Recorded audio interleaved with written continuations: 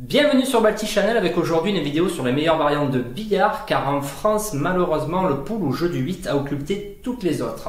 Alors pour jouer au billard qu'est-ce qu'il vous faut? Eh ben, C'est très simple, il vous faut une table de billard, voilà, une queue et des boules numérotées, voilà. Alors je ne ferai pas de jeu de mots et puis bien entendu l'incontournable, il vous faut le costume de joueur de billard.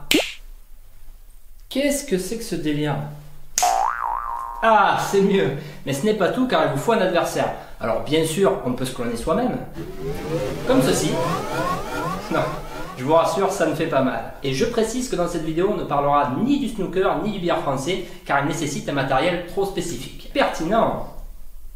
Mais attention avec le clonage car ça peut vite dégénérer. super la présentation.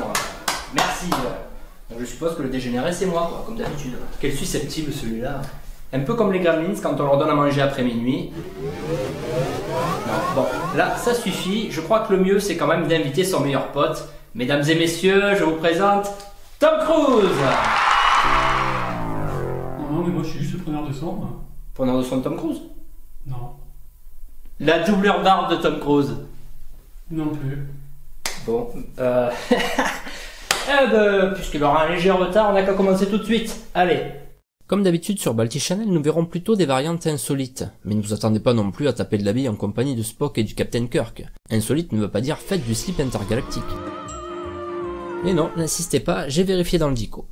Non, insolite, ça définirait parfaitement le billard italien ou le billard danois, que l'on peut d'ailleurs découvrir dans un film italien avec une actrice danoise, Bye Bye Baby, mais bon, c'est tellement compliqué à jouer avec les petites quilles sur la table que si j'en parle, c'est vraiment juste pour le plaisir de retrouver Brigitte Nielsen en championne de billard dans cette VHS rarissime de derrière les fagots.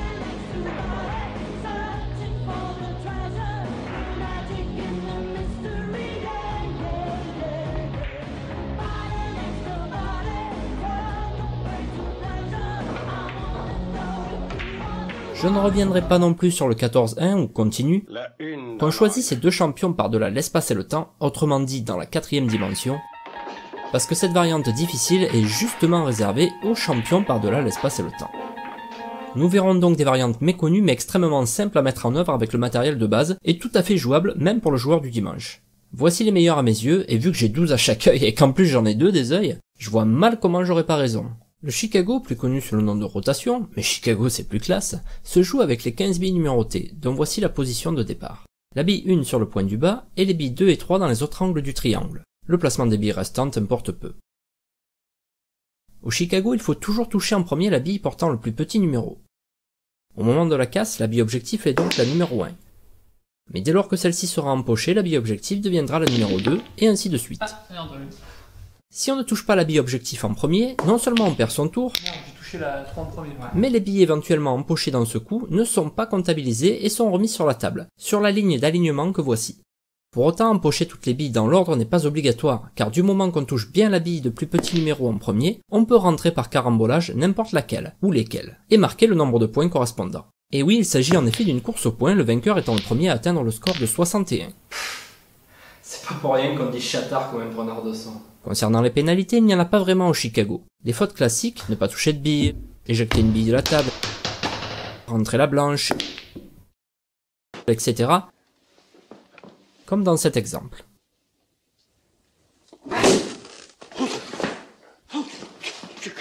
Ne permettent pas au joueur qui reprend la main de disposer d'un second coup gratuit. Mais il peut quand même placer la boule blanche où il veut dans la zone du haut. A noter que si la bille objectif se trouve alors dans cette même zone du haut, on la replacera d'abord sur le point du bas.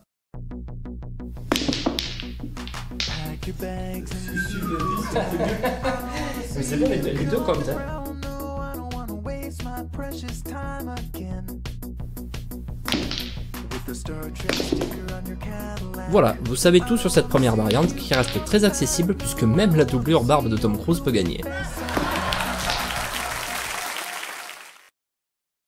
Dans la grande famille du billard, le jeu du cowboy fait un peu figure de chaînon manquant, puisqu'il mélange les gènes anglo-saxons avec une table à poche où les points peuvent donc être marqués en empochant des billes, et les gènes français puisque les points peuvent aussi être marqués par collision en série entre les billes, on parle de carambolage, et que ces billes sont en nombre très restreint. Le cowboy n'utilise en effet que les numérotés 1, 3 et 5, en plus de la blanche. Et c'est plus cool qu'il n'y paraît parce que du coup on peut quand même y jouer dans les bars où il n'y a plus que des tables de 8 poules, il suffira simplement de ne conserver qu'une jaune, une rouge et la noire, et de leur attribuer les trois valeurs. Voici la position de départ. La 1 sur le point du haut, la 3 sur le point du bas, et la 5 entre les deux, sur le point du milieu. Le premier joueur peut placer la blanche n'importe où dans la zone du haut, mais pour le coup d'ouverture, il devra impérativement toucher la bille 3 en premier.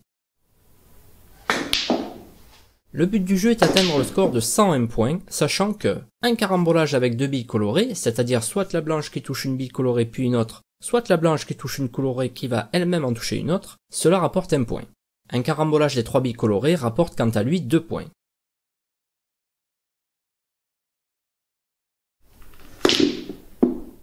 Tandis que l'empochement d'une bille numérotée rapporte autant de points que son numéro.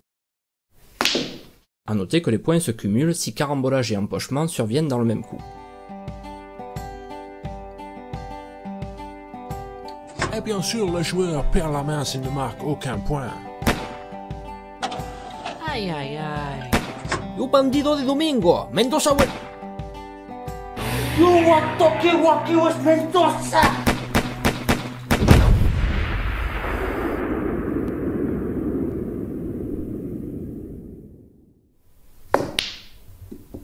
Comme au snooker, à chaque fois qu'une bille est empochée, elle est remise sur son point de départ.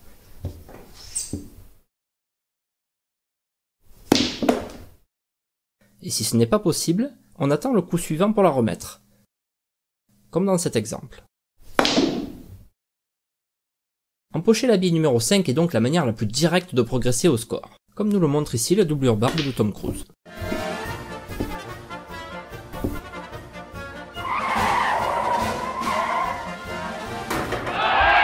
Mais dès lors qu'un joueur atteint précisément 90 points, il n'a plus le droit d'en marquer par empochement. Les 10 points suivants doivent être en effet marqués uniquement par carambolage. S'il y a empochement, même en plus d'un carambolage, le joueur ne marque aucun point et perd son tour.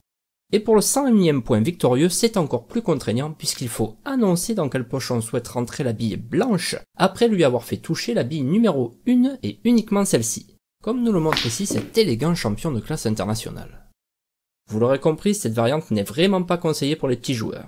non, non, un peu moins violent Sauf s'ils ont un petit billard. Ah, un, peu, un peu moins niais.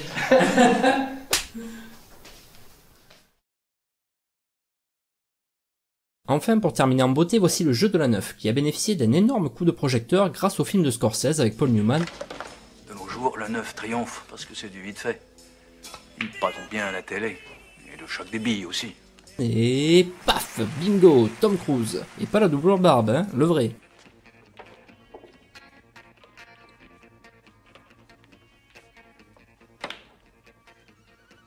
Mais bon, tout ce beau monde au générique n'a pas suffi à créer un engouement pour cette variante en France, où elle demeure terriblement confidentielle. C'est à n'y rien comprendre, d'autant plus que le film s'ouvre carrément par l'explication des règles en voix off, une méthode qui, soit dit en passant, sera reprise 11 ans plus tard dans Les Joueurs pour révéler au grand public une nouvelle variante de poker, le Texas Hold'em.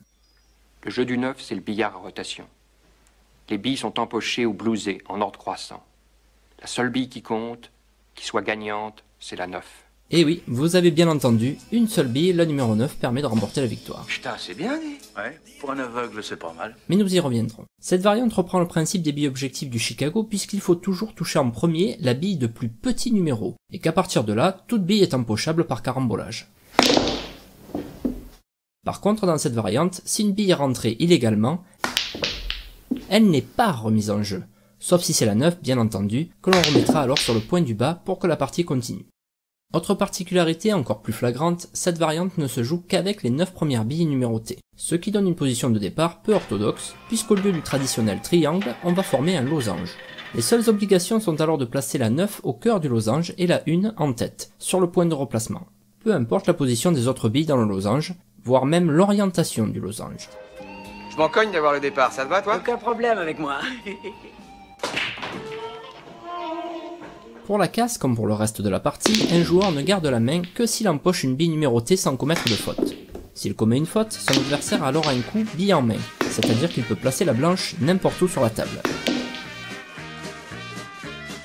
Voici toutes les fautes donnant lieu à cette sanction redoutable. Ne pas toucher en premier la bille objectif, rentrer la blanche, éjectez une bille quelle qu'elle soit, et enfin, si aucune bille n'est empochée, ne touchez aucune bande, ni avec la blanche, ni avec une autre bille. Avec une légère particularité lors de la casse, puisque c'est alors 4 billes numérotées qui devront aller rebondir contre les bandes, si aucune bille n'est empochée. C'est ce que réalise ici la doublure barbe de Tom Cruise. Il n'y a donc pas faute. Mais revenons maintenant au but du jeu, empocher la 9. Ceci peut être fait de manière directe, quand toutes les autres billes numérotées ont été sorties de la table, ou bien indirecte, par carambolage, en touchant d'abord la bille de plus petit numéro encore présente sur la table.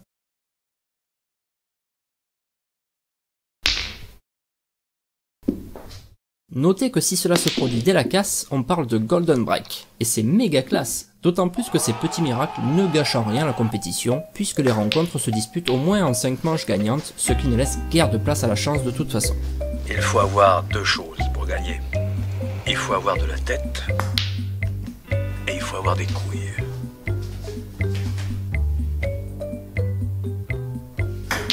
Doigté de chirurgien, en finesse.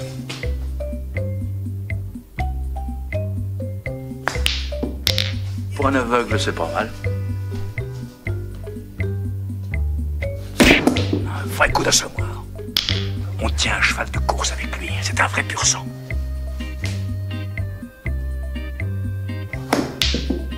Ce gosse, on lui mettrait les bras dans le plâtre qu'il battrait n'importe quel joueur.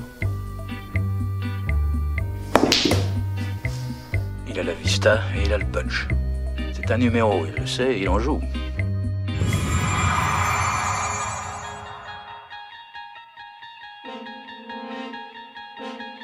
Voilà, j'espère que cette petite vidéo vous a plu et vous aidera à varier un petit peu vos parties de billard.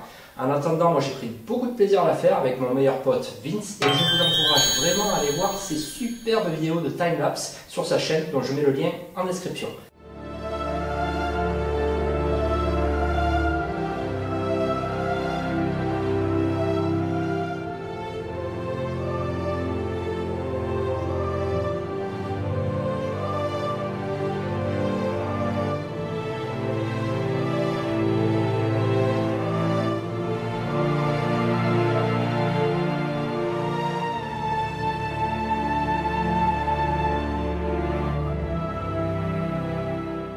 Voilà. À plus Hey! I'm Tom Cruise, the real Tom Cruise. You know I'm a big star in the war, but Barty is my friend. So, follow me on Barty's channel. A plus!